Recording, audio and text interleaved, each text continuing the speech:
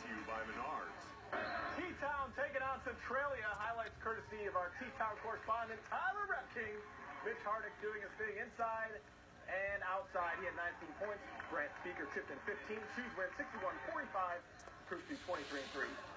Thank you, Tyler, for those highlights. Stick around.